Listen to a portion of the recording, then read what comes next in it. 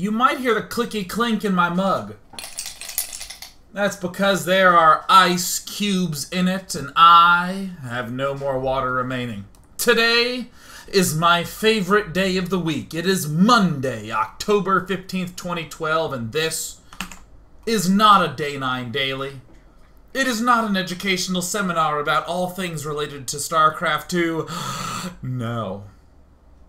It is day nine story time on Monday, where we are going to talk about an amazing game whereby I took the role of a powerful wizard. Today is Magic Monday. I will discuss my first ever Grand Prix experience at the Magic the Gathering Grand Prix San Jose. Yes! Sadly, I have no water, and even though all I have are these tragic two ice cubes. It's still okay because this mug allows me to talk like Bane from Batman. Mr. Wayne, I'm a very powerful wizard. And soon enough, I will tell you a story, Mr. Wayne. Excellent. Let's go ahead and put slow mode on the chat. Bane 9 will go ahead and take a brief hiatus right now. It's time for us to talk about a little bit of a special game. An exciting news, a recent blog went up on day9.tv. You should check that out. We'll talk about that later. I just wanted to say some other kind of news to let you know that things other than magic are still occurring in the world. Alright, let me... Ugh. Ah. Let's go ahead and do it. Want to introduce a game called Magic the Gathering to any of you who have played it or perhaps have not played it. It would be weird for me to introduce the game to those of you who had, but that's okay because that's what's going to happen. Now, for some of you who have never heard of Magic the Gathering, let me try to describe it as briefly as I can so that we're all on the same page. Unless you showed up late and you're never going to see this. Here's how Magic works.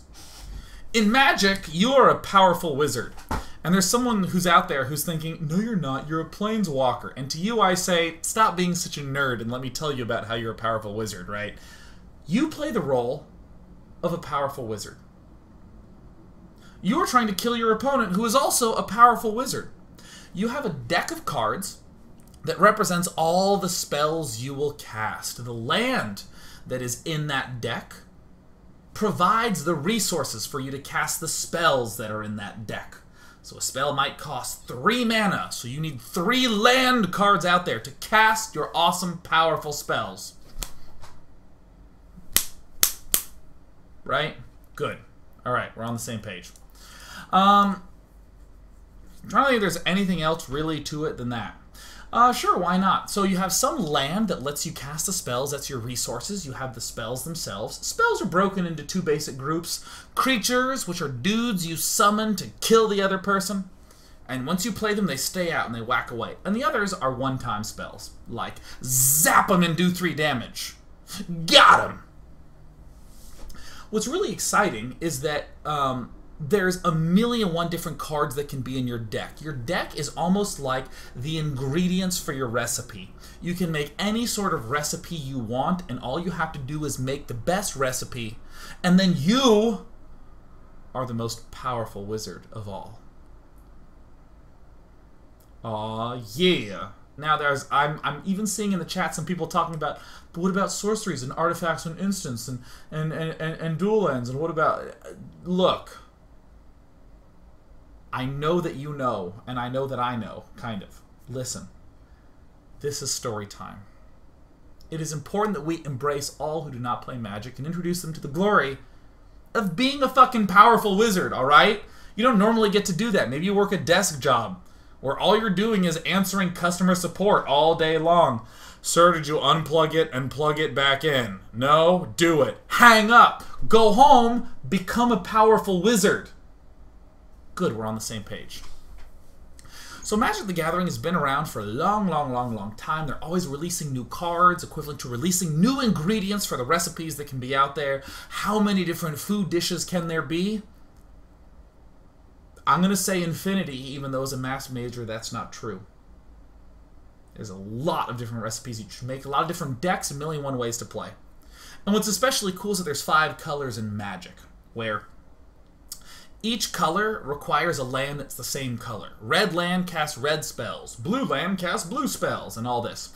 The important thing to note is that when you are making your deck, when you're making your little recipe of a spell, each color has some clear weaknesses to it. I don't want to say strengths, I want to say weaknesses, because you might say something like, wow, my red, all the red cards I have are little dudes they're not very big. That's a weakness I have. There's not really any big red dudes. Let me throw some green in there so I can have some big green dudes. So now I have a red-green deck. I have used green to make up for the weaknesses of red. I've literally told you everything you need to know about Magic the Gathering. So let's go ahead and step away from Exposition Land, um, I should say Information Land, and over to Exposition Land. There is now ice on the floor of my room. Probably about 10, 11 months ago, I um, was talking to my friend Case on Skype, and Case told me that he was about to fire a draft. And I don't know what that means. Apparently, he was talking about Magic the Gathering, but as with any activity, there's the vernacular that goes along with it the jargon, the lexicon of being a freaking nerd, right? With poker, you might say something like, oh yeah, I had cowboys, but that jerk river to flush on me on the river. Doesn't mean anything to people who don't play poker. Perhaps you play StarCraft and you say, yeah, well, he hid an expansion up in the top right, and because it's Tal'Darim Altar, I really thought that was way too risky, and they ended up beating me with a three base all in anyways, like an idiot. Doesn't mean anything. Same thing with Magic. Firing a draft. What does firing a draft mean? It sounds like Case has a gun where drafts are bullets. What I soon found out is that he was playing Magic the Gathering online, and I was kind of curious what it is that that meant, because I think, like any person who's involved in gaming, whether it be computer games, console games, or board games, um, has been indeed aware of Magic the Gathering at some point in time. I played it way back when I was in sixth grade and found myself to be cool I really did want to be a powerful wizard, not in a metaphoric sense, but literally, I thought that that would be a reasonable career path, and I played Magic. But since then, I hadn't played, and I started to watch him play. And he started to introduce to me all the things that are Magic the Gathering. I started to get more and more into it. He played nothing but drafts. I don't care if you don't know what that means, but that's all he did. And Case was a freaking badass. His limited rating was 1950. Oh my god. Now, there's people out there who are like, what does that mean? Case was a big swinging dick. That's what it means, right? That's like someone who can bench press a building. He is unbelievably freaking good, right? And the funny thing about Case is that Case is the most relaxed, chill, not excitable person ever. Be like, Case, I want a million dollars. That seems good. That'll uh, certainly help out. And when you ask Case things, in particular, when I ask Case stupid questions, he would talk right at me. He wouldn't talk over or below, he would just tell me. Have you ever had a teacher who's like, there's no such thing as stupid questions? And then you raise your hand and you ask a question, and your teacher makes you feel like an idiot who shames you? Well, Sean, if you did the reading last night, you'd have an answer for yourself there. And then there's a stop, and, and, the kids in class, they do this. You're at the back, and the kids go. They look back at you like, oh, holy shit, you just got called out by the teacher. coach just called you out. Everyone in high school's coach, right? Especially if you live in America. Everyone has had that experience where there's always a such thing as stupid questions, but not with Case no matter how dumb a question I would ask, Case would just give me an answer. And I was like, okay, I'm starting to understand this. And eventually, in the summer, I started to take up playing myself. In June, I was playing drafts, and I was like, I was like doing the double uncoordinated fist pump of celebration because I myself was no longer a powerful wizard observer. I was a powerful wizard myself. I was awful. I was just I was like an embarrassment to wizardry. They don't they didn't even want to sell me the hat and the robe.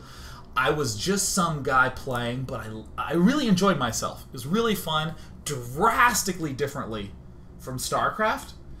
Um, I'll talk a little bit more about that later. And all of a sudden, we find out, leading up into the uh, the weekend that has just passed, onto October 13th and 14th. Is that right? October 13th and 14th, yeah. That there was going to be a tournament in San Jose. And I decided, let's do it! With a giant fist of decisiveness. I was going to go to my first ever Magic the Gathering tournament, and I had talked to my friend Tristan about this a lot. Now, if you've ever watched anything that has to do with me under any circumstance, you know that I have a friend Tristan who's like the smartest person. Like, if he's had a, a cup of coffee, he can move tiny objects with his mind. He's fucking brilliant, right? I've been talking to Tristan about it, and I was like, maybe we should go to this tournament. It's a special kind of tournament. This is where I need to stop and I need to snip through in the storytelling and I need to introduce the tournament format. There's a number of ways to play Magic. Again, I described it as your cards are the ingredients and your deck is the recipe. You mix them all together in a certain way and you play with that. Now there's there's two broad categories of playing. There's one's constructed, which is where you plan in advance what recipe you're going to bring. Imagine it like a cook-off where they just say, "Hey, you're just going to make the best thing you can." So you just prepare and you think, "What cards do I want in my deck?" Uh, you you adjust, maybe play with your friends, pull some cards out, put some cards in. Same thing as pulling ingredients out, putting new ones in. Maybe a little more salty because who doesn't like a salty deck? Mmm. You do those adjustments, and the tournament is the final judgment of whether all your adjustments have been correct. You bring that deck there. I don't like this so much because I don't like that whole process leading up. I'm low on time. I have business in esports, so I totally don't quite have the time, and also it requires some money to be able to buy exactly what you need. The other kind, the other broad category is limited. This is what I like. I like limited. limited is where they hand you the cards right there, and you make a deck with the cards that you have been handed, and you play all on the spot. Have you ever watched Iron Chef? Where they're like, oh, on. Today, they will be making ingredients out of cod roe. And everyone's like, oh, what's a cod roe? And then they desperately try to make it. That's what limited is like. So you have to make the trade-off where you look and you're like, well, these cards, there's like a couple great, a couple good, and mostly bad. How do I make the right mix of that? Now this is where I'm going to introduce some numbers. I, I, I have majored in mathematics, and I know that for every equation you bust out, you're going to cut your audience in half. But that's okay, because I know you and I know you love numbers in a normal limited format, there's a number of uh, different kinds of limited under that umbrella, but one kind of, uh, uh, of, of limited format is called sealed. You get six packs that are unopened. They are sealed packs. See what I did there? I brought in the language. You get these six packs of cards, and you and each one has 15 cards. And you'll notice that 6 times 15 is oftentimes 90. You take these 90 cards and you're going to boil it down to 23. That's what a deck is 23 spells, 17 land for a 40 card deck.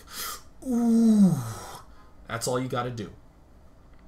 That's all you got to do. Now keep in mind, there's five freaking colors. There's 20 to 25 in each color you're trying to squeeze it down to 23. You might. Here's a conversation that goes on in your head, or at least goes on in my head. I don't know if I'm representative of most powerful wizards, but what goes on in my head is I'm like, okay, okay, my white is really good. My white's good, so I know I'm going to play white. My black and my blue suck. So I'm either going to be white and green or white and red you know what? I think my red's the best. So I'm going to have these 15 white cards. I'm going to have these 7 red cards. Good, I'm done. I'm done. And now I have made my recipe. I have made my red white quiche.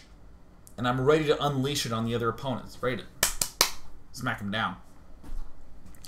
Here's the format that was played at this tournament. This is what totally tickles my fancy and what hardens my nipples, either because it's cold or because I like this format. And it's one of those two. You show up to the event with two buddies. So there's three of you right there.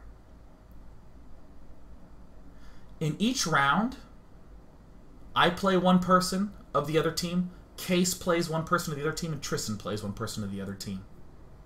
And if we win that, we got it. But how is the deck made? We collectively get 12 packs of cards, 180 cards, and we make three decks out of that. Now, there's five colors in Magic the Gathering to choose from. And five divided by three? No one knows what that is. That's fucking that's not a real thing. Five divided by three, you have some you have some troubles, right? Maybe maybe person person one has colors A and B, and person two has colors C and D, and person three has E and whatever. Right? They just had to have like another thing. You have to figure it out. Now, this is where I need to introduce what we call the characters of a story. Every story should have characters, shouldn't they? We've introduced this format. It's important to note that there's some struggle when trying to create just the right decks before you begin to play. Good. Here are the characters. Tristan. Tristan is actually the smartest person that I have ever met in my life and will ever meet in my life. He is an incredibly articulate speaker. You hand him something, he'll figure it out very swiftly. He's an absolute sweetheart. He has two cats named Edgar and Sabin. Yes, after the characters in Final Fantasy VI. Anything he touches, he immediately excels at. He plays the piano, writes a lot, uh, works at a really badass freaking company, is a Masters level StarCraft player, and a high rated, limited Magic the Gathering player. I have no end of things to say about Tristan. And end of good things to say about Tristan. That's something to emphasize. Tristan is freaking smart. Tristan is Tristan is a lot of man. He is six foot five. He towers over me. He has this big beard and he has these glasses, and you can see he's calculating everything. He's the sort of man who, given any circumstance, would be sitting in a convention hall figuring out how to avoid the zombie apocalypse if it did land. And when the zombie apocalypse happens, you turn to him and say, What do we do? And he would have an answer that would work. This is the man we're talking about, alright? And he has two cats named Edgar and Sabin, who are sweethearts. Great. Case. Case is the shortest of us all at like five nine or something like that. I'm six three. Tristan six five, um, or maybe six six. Case. His name is Case. C A C C A S E. Look, I don't know how to spell. I was a math major. Numbers, not letters. All right. Case. A little shorter than we are. Very sort of hmm hmm. Kind of the eyes of what I would describe as a judgmental parent and yet still, any question you ask Case, he's going to be an amazing sweetheart, and he's going to say it to you exactly the way that you understand it, and he's going to stop and wait and make sure. He's going to take those steps to be absolutely certain that you get what he's talking about, but also Case is a killer. A cold-blooded, stony-faced murderer in card games. I kid you not, Case is probably the best player in the world at Legend of the Five Rings. It's another card game. I don't know if you've heard of it or not. But Case is the man. In fact, in community sites where there's a forum that's like, look who won the recent tournament. You know, and it's like, congratulations, Jerry. Congratulations, Jimmy. His congratulations case, his thread is stickied because he wins them all, right? It's right there. Freaking badass. And then there's me. One big fucking liability. And we decide that we're going to form a team. That is who we are. Case, the brilliant, almost 2,000 rated, limited player who could construct decks in his sleep, Every time I see Case trying to construct decks in Magic, I feel like I'm watching some Greek god sculpt species before me, where he's like, hmm, perhaps an alligator. And there it is, an alligator. And I'm like, whoa! Or maybe a chicken. And I'm like, oh my god, you know how to make everything case. His brain is amazing. Tristan is not quite at Case's level in terms of the deck construction and the play, but Tristan's good. So they're having conversation, they're like figuring stuff out. This is how I'm on Skype calls with them, and I'm there and I'm like,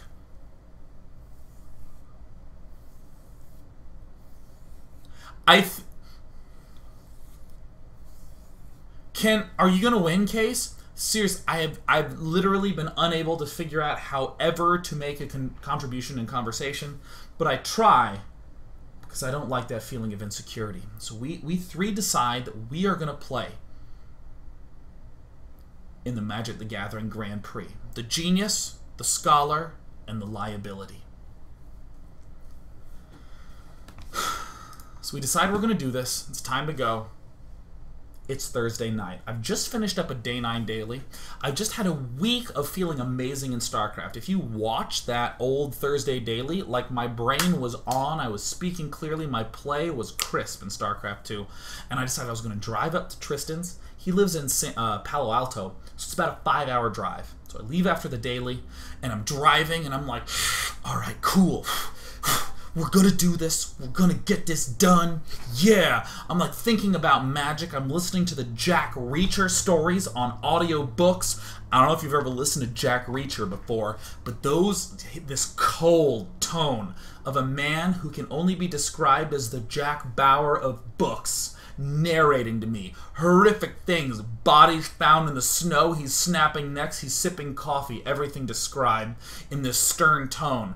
And i'm just letting this amp me up in terms of magic the gathering. I'm like yeah i'm gonna i'm gonna torture my opponents. I'm gonna brutalize them. And i'm gonna cut them with switchblades and it'll be tough. And then i get into tristan's house at 4 a.m go to bed on his floor and am kept up most of the nights because his adorable cats keep rubbing my feet. And this is where I actually should probably stop and explain to you that I don't even know how to fantasize about Magic the Gathering. I'm that bad I know how I fantasize about StarCraft. Let me give an example. There are times when I sit in bed and I imagine being in the StarCraft tournament and I never miss a probe and I never miss a pylon and every time he tries to drop me, I see it on the mini map and I go over there and I swashbucklingly pierce his Medivac and it falls to the ground and I hear the roar of the crowd, but I'm not distracted. I'm bad ass. My my blood is dark and cold of oil, right? I'm, there's no sweat on my face, my eyes dead, looking at the screen, making perfect decisions. The temperature of the air doesn't matter. I've turned off the senses of the ears. I have no taste, no touch. I only see what I need to do and do it perfectly. I destroy my opponent 4 0 in the finals. Who did I defeat? The best player in the world. I stand out, and the crowd is cheering, Yeah! Ah! And I'm like, I am day nine. And an MVP turns and looks at me. He tries to shake my hand. I puke right into his eyes. He's oh, he's running, and the crowd is clapping as I'm vomiting on the best player in the world. And then I wake up and I'm like, I could do that. I could, yeah. I am the best StarCraft player in the world. But with Magic, I don't even know what to think. I'm like a guy with a crush who's eight years old. When I had a crush on someone when I was eight, I would fantasize about telling her my strats in games. And that's why no one can really beat me in Command and Conquer. Oh, Sean, you're so amazing. Wow, I didn't realize the power of Brotherhood of Nod. Oh, well, you know, a lot of people have never really thought it through, but you know, I'm always thinking, Missy Saucy Pants and that was the that was actually the height of my fantasy back then. And that's how i thought about magic. Right? I'm sitting in there and i'm like maybe i draw well? Maybe he draws bad do i have better cards? Do i surprise him? Maybe i don't surprise him.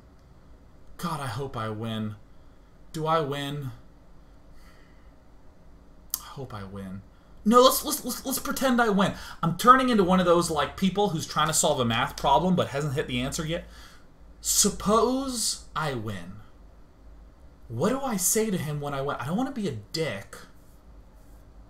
I guess I'll shake his hand. I'll tell Case. Well, I want Tristan there too. I can't say it loud. And I'm going through all these branches and then I just fall asleep. Is that not the most sad, pathetic fantasy you've ever heard? I'm trying to figure out how to envision my victory over the best of the best. And I freaking pass out. I awaken the next morning to Tristan's cats rubbing against my feet. Edgar is so cute. Sabin terrified of vacuum cleaners. Edgar terrified of people. But a foot, Edgar loves foots. I wake up, I'm feeling good. Tristan and I decide it's time to drive down to San Jose to register for the Grand Prix. We go up to this convention hall, and when we enter, it's a room unlike everything. Uh, uh, unlike, sure, unlike everything I've ever seen. Unlike anything I've ever seen. I enter this convention hall. At, at the south end is the judges' area, where they have all the judges. There's there's millions of them, millions of judges. At the north end is the registration. Along the east and west sides are booths set up for people to trade cards. And in the center are thousands of tables and thousands of chairs laid out. It was like entering a Roman Colosseum two days before the match. And you see all the dust still lying there. Look, if you want a realistic portrayal, go watch somewhere else. This is my fucking story, alright? all the tables laid out, ready for thousands of powerful wizards to battle against one another. And I've never been there before. I've never been to anything like. i have been to LAN centers where you see tons of reassuring blue light emitting from monitors on all the walls. These are just tables out there. And I go to register. I hand them my credit card. They say we don't accept credit cards, cash only. And I'm like, oh my god. The Magic the Gathering registration areas are tough people. They only take cash like they're drug dealers, or street vendors, or parking lot attendants. It's time to go get some money from the ATM. I withdraw it, give them the money. 120 up front. Count out the 20s. Excuse me, I count out the 20s. Let me make sure I have my image accurate. Me and Tristan register. We're finally signed up. I get a mat, I get a pin. I don't know where the pin is, I lost it. But I got one. And then it's time for me to go off to San Francisco. I had some buddies I was going to hang out with during the day, including none other than Kevin Lin, the Chief Operating Officer of Twitch TV, the platform that you're likely watching on right now. We played an epic best of 13 or so. I lost. It stung, but it was close. Every round was over two minutes long. And I finally started to drive back down to Tristan's house. Case was going to be there. I hadn't seen him all day. Case was going to bring cards. We have to figure out how are we going to prepare for this Magic the Gathering tournament. We know that we're going to get 12 packs. We have to distribute those. We have to divvy them up among three players. Um, but but how do we how do we practice that environment? Case was going to bring cards. So we sit down. Case actually has uh, 36 packs. We can practice three times what it's like. It's 10 p.m. when we get there. We know we got to be in bed by midnight, and I'm nervous. See, in StarCraft 2, I have control at all points in time I always know that I have control. If I want to take that expansion, I can send a worker there. I can begin making units to take the expansion. I can scout around and check out everything that's going to be going on around there, see if he has anything that can threaten me. I can do things in Magic, you just you're just like, well, I'm gonna draw a card. I have no idea what it'll be. I guess I better wait till that turn comes around. It stresses me out. I'm like a wreck. I'm driving there. I'm like, Case, what do we do? Oh, I gotta figure this out. So Case says, look, this is what we're gonna do. When we open the decks, we're gonna give you all the red and black, Sean, because that's the easy deck to build. I'll take the white green. Tristan's going to take the white blue. And because Tristan and Case understand how to communicate without just having diarrhea over stress in the way I would, they're going to figure out how to divvy up the white. And we'll start from there and see how it goes. So we do it, we practice it through, and I'm like, okay, okay. And I'm like going through and I'm like dealing it out, and I'm like, ugh. And to give you a sense of what this is like, Case is the brilliant deck builder who's a great player. Tristan is the extremely competent magic player who can give feedback and discuss with Case, and I'm the liability. This is like having a SWAT team where Case is the sniper and team leader. Tristan is the one with the assault rifle who kicks in the door, and I'm the suicide bomber, right? I'm yeah, a SWAT team with a suicide bomber. Look, they needed somewhere for me to go, and that's the best thing I would be at. That's how we built our decks. So we had that practice that night before, and I was feeling really comfortable, and I was like, okay, I hope to God I get the good cards tomorrow. I hope to God I draw well. I don't give a shit if Tristan and Case have terrible cards. This is about me. I need anything to calm down. I go to bed that night with my twisted, confused, directionless fantasies because tomorrow is day one of the Grand Prix San Jose. When we come back after this break, we're going to hear how it started off.